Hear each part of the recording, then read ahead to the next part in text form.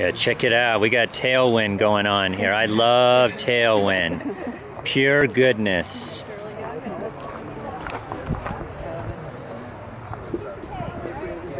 Yeah, I think uh, all that stuff is just in this. You get your electrolytes, you get your calories. 200 Calories per package. These guys are out of Durango, Colorado, and they're endurance specialists.